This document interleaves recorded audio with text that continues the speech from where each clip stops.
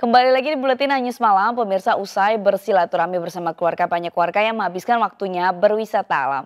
Nama pantai Nguluran di Kabupaten Gunung Kidul, Yogyakarta mewarnai foto-foto liburan di media sosial. Hal itu karena teras kaca di atas tebing menjadi spot yang cukup instagramable bagi kaula muda.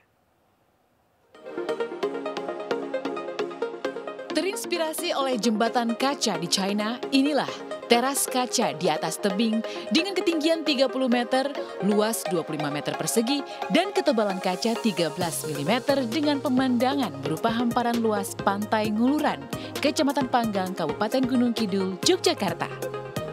Deburan ombak tidak hanya terdengar jelas, namun dapat Anda nikmati dari atas teras kaca. Lokasi wisata teras kaca di Pantai Nguluran terletak sekitar 60 km dari kota Jogja dan bisa ditempuh dengan waktu sekitar 2 jam perjalanan. Berjalan di jembatan kaca tentu memberikan sensasi tersendiri.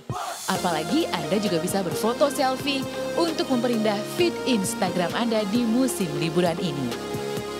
Oh, kalau menurut saya tempatnya asik sih, mantap. View ke lautnya juga bagus dan cukup buat saya ini apa memacu adrenalin lah.